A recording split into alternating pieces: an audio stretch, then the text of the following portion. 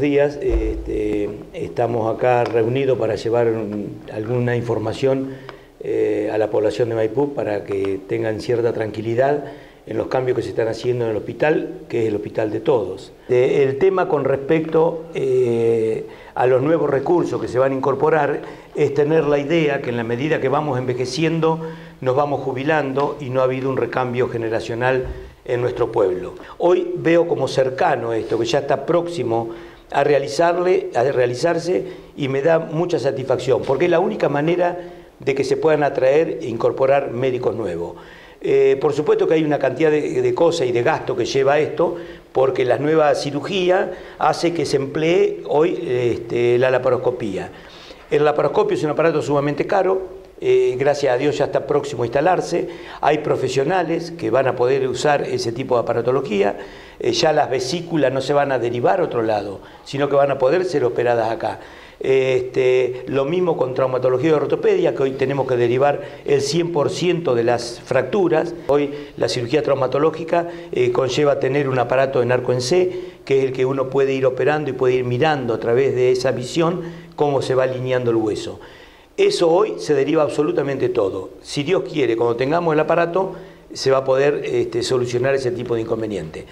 Eh, por otra parte, gracias a Dios, hemos arreglado y hemos nombrado a una nueva odontóloga, porque nos habíamos quedado sin odontólogo, que ya empezó a trabajar. El otorrino laringólogo también, una persona, este, un profesional excelente, que se había ido de nuestro hospital eh, ya empieza a atender a partir del lunes próximo. Eh, tenemos las guardias cubiertas de, de obstetricia. Queremos que la mujer embarazada vuelva a atenderse en el hospital. Para eso vamos a tener tres parteras permanentes donde puedan eh, ser asistidas de lunes a viernes por consultorio externo. yo creo que son cosas importantísimas.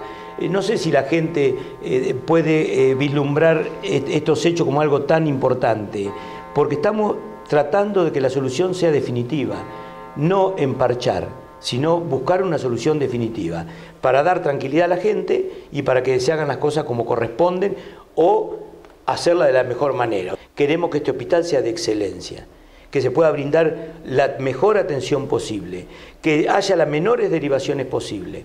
Para eso necesitamos profesionales, necesitamos aparatología, pero estamos luchando para eso y queremos que el pueblo tenga un poco de paciencia, que sepa que nosotros no podemos formar un anestesista de hoy para mañana, que no podemos formar hemoterapia de hoy para mañana, pero gracias a Dios están implementando la herramienta para que esto ocurra.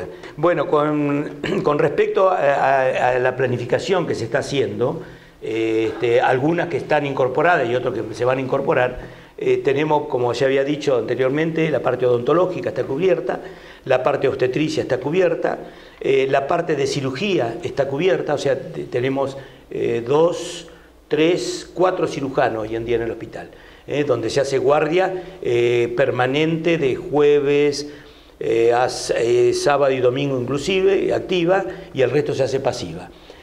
o sea que estamos bien cubiertos en ese aspecto. En lo que respecta a clínica médica, están cubiertas, porque si no el hospital no puede seguir funcionando. Eh, sin embargo, la idea es que los médicos tengan un cierto perfil. Si son de Maipú, muchísimo mejor.